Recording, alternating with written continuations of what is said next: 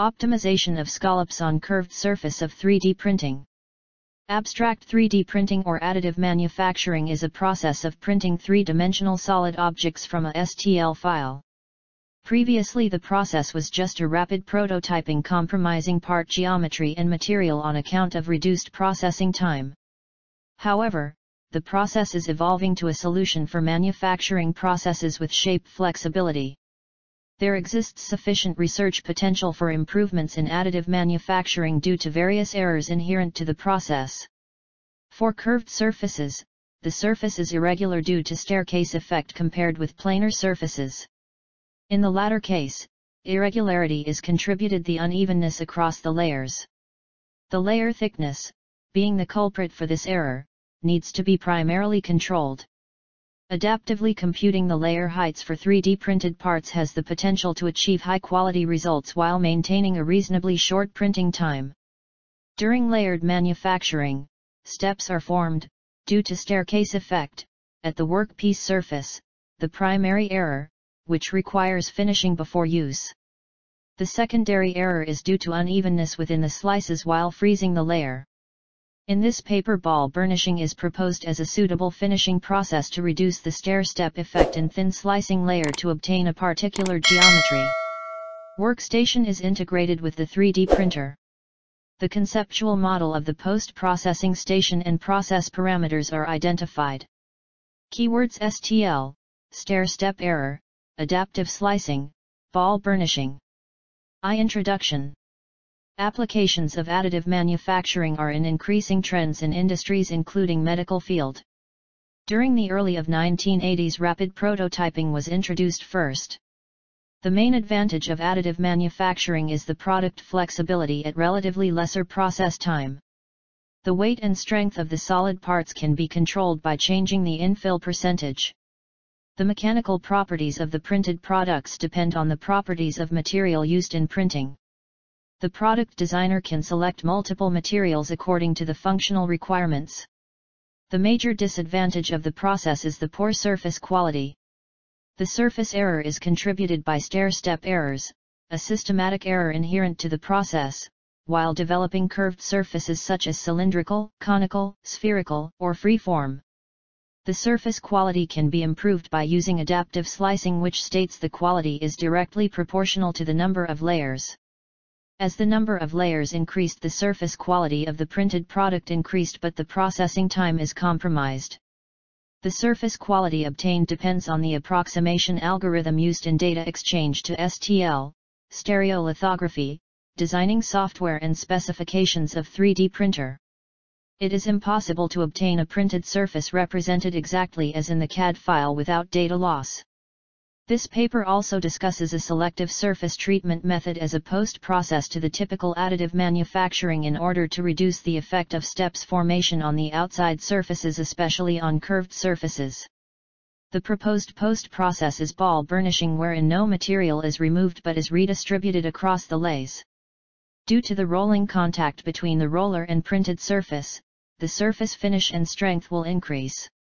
Polylactic acid, PLA, filament with 1.75 mm diameter is used as the working material and Creality CR-10S Pro 3D printer is used for printing the specimen. This paper focuses on the deviation for printer surface from the intended surface represented in the design. Flourens, Way, ZETAL1 investigated the error measurement for this compared the volumetric surface deviation between the model and 3D printed product with optimum control. According to the implementation of adaptive slicing algorithm the surface quality could be increased and also a focus on the usability of a rather complex concept for users without extensive previous knowledge. Here an efficient computation of adaptive layers by analyzing the model surface over the full layer height and implementations were available as ready-to-use open-source software. Mani, P. Kulkarni and D. Dutta 2 implemented new methods for region-based adaptive slicing. In this, users can implement adaptive slicing on the surface which need more surface finish. Suvik, Bihota 3 states in his review paper using ball burnishing process the surface error will be reduced and also strain hardening will happen. Diameter of ball, amount of leveling, layer thickness, and rolling force are considered as the parameters. He Chang, KETAL 4 used analysis of variance, ANOVA, method for analyzing the relation between optimum parameters and mechanical properties. PLA material with 100% fill rates in X direction can perform improved mechanical properties. GRE Marie Point superscript 1 and AM Abrudin superscript 1 5 studied the characteristic and behaviors of thermoplastics. These properties help to find the perfect material for product design and production. From the studies of K. O. King Jai Wang 6 ball burnishing process is favorable as a surface post-processing method. Aeton Toi 7 et al. reported the tensile strength is varying with layer thickness and the dimension error was dominantly depends upon raster angle. They state that, according to current condition it is impossible to print a part having complex geometry and shape with any orientation angles using 3D printer machine with fixed printing movement. Daniel and Chris McCoy 8 studied the relation of infill and tensile strength. In this work it was found that the specific ultimate tensile strength of the 3D printed product is directly proportional to the infill percentage with hexagonal and rectilinear infill geometries. The strength and stiffness of hexagonal infill geometry is higher than rectilinear geometry.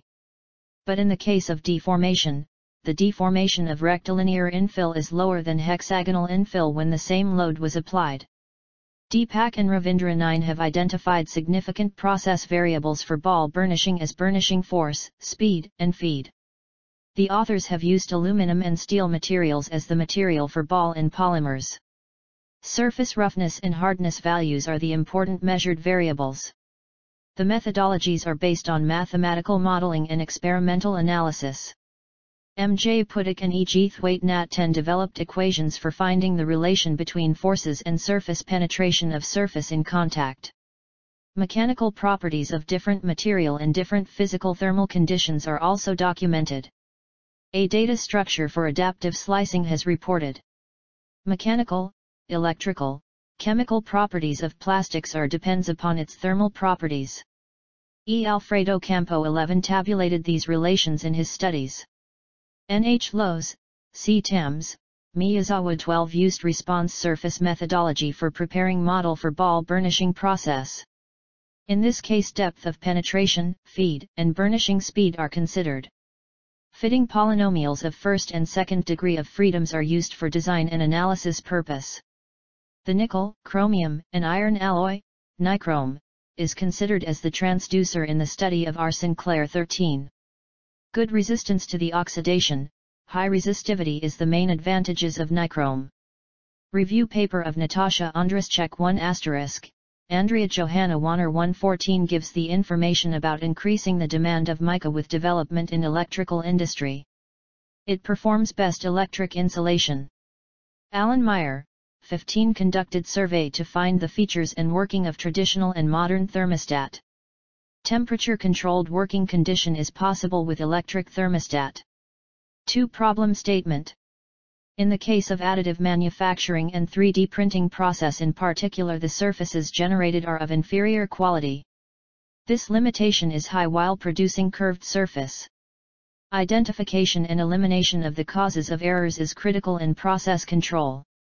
The literature survey conducted on the methods revealed the fact that adaptive slicing has proposed many authors and found reduced the surface errors up to certain extent. Hence it was decided to set the following objectives for this work. 3. Objective and methodology. To study the adaptive slicing method and propose improvements. To design a post-processing station for a selective smoothing of curved surfaces. The methodology adopted in this work is given below. Development of CAD model. Exchange to STL format. Experimentation. Building with constant slice thickness. Building the part with adaptive slicing. Test of surface. Post-process conceptual design. Create a 3D model with flat and curved surfaces using modeling software so that both surfaces could be compared. The CAD data is exchanged to the stereolithography, STL, format. The staircase errors and roughness errors could be evaluated with and without adaptive slicing in both curved and flat surfaces. Similarly the experiment is repeated after burnishing. A post-processing station integrated with the existing 3D printer is also attempted. 4 Problem and solution. A. Errors in curved and flat surface. 3D model with dimensions of 5 cm side cube and 5 cm diameter hemisphere as shown in Figure 1. There are mainly two types of surface errors in the 3D printed surfaces. Stair-step or primary error, error and surface roughness error or secondary error, .r, as shown in Figure 2. Some of these considered as the total error in this work 1. Adaptively computing the layer heights for 3D printed parts has the potential to achieve high-quality results while maintaining a reasonably short printing time. During adaptive slicing the layer heights are adjusted depending upon the surface variations. For the model surface, roughness value of curved surface is comparatively higher than flat surface. The surface quality of curved surface needed to be improved. The adaptive slicing has improved average surface roughness from 2.809 to 2.08. However, there is no significant change in flat surface. One major disadvantage of adaptive slicing is increased processing time due to high number of layers. In this case maximum and minimum layer height is manually fixed. Minimum layer height is taken as 2 mm and minimum layer height is taken as 4 mm. 2 Number of layers in adaptive slicing. The number of layers is a controllable parameter in 3D printing. It can use as a trade-off between surface quality and process time. As the number of layers increases surface quality also increases, Fig. Point 3. Using adaptive slicing time and numbers of layers are optimized with good surface quality. Fig. Point 3. Surface roughness value versus number of layers. B. Post-processing ball burnishing. Majority of additive manufacturing products are of materials with low melting points such as polymers. This part of the work also discussed the case of polylactic acid. It has been found in the previous experiment that the errors are inherent with the process in case of the requirements for smooth surfaces additional process are to be added to the 3D printing machine. The proposed post-process is ball burnishing. It is a process by which a smooth hard steel ball, using sufficient pressure, is rubbed on the surface. This process flattens the high spots by causing plastic flow and consequent strain hardening. It improves the surface finish, surface hardness and wear resistance. The typical setup of a burnishing process is shown in Figure 4. Fig. Point 4 Ball Burnishing Process the type of tooling and the requirements of motion in burnishing process differs from the tooling of a 3D printer, it is suggested an additional station to the 3D printer. However, the same controller can handle both the stations. The burnishing ball travels in longitudinal direction as shown in Figure 5. The burnishing tool is heated to a temperature of about 75% of its glass transition temperature, we can reduce the requirement of tool force. The control of tool movement along the lathe and its orientation is achieved by numerical methods. The codes, i.e. coordinates of cloud points, obtained from STL format are used for discrete representation by the slope change notation reported by Ernesto Bribiesca, 1992. The orientation of burnishing tool has to be normal to the profile. This achieved by the tool is oriented perpendicular to the slop of the line joining to corresponding extremities of two consecutive layers. Table 2 shows the sample data. 2 Experiment result. Sample set burnishing tool path. Sample. Coordinates of extremities. Slope. The infeed in burnishing process is depended by the cusp height. The cusp height is shown as BD and layer thickness is AB in figure 6. The infeed is taken as half of the cusp height, the cusp height is a function of slice thickness. These relationships could be implemented in the program controlling the motion. The work done in burnishing is also to be calculated. Sample load calculation. Layer height is 0.2 the cusp height equals 0.17. Layer height is 0.4 the cusp height equals 0.16. From this the expecting tool penetration, a equals 0.08 mm. General equation for sphere in contact with a plane 10. 1. Where A is infeed, P is the load in kg, V1 and V2 are material constants in general. Where M is Poisson ratio and E is Young's modulus. The infeed, A equals 0.08 the diameter of burnishing ball, D equals 8 mm.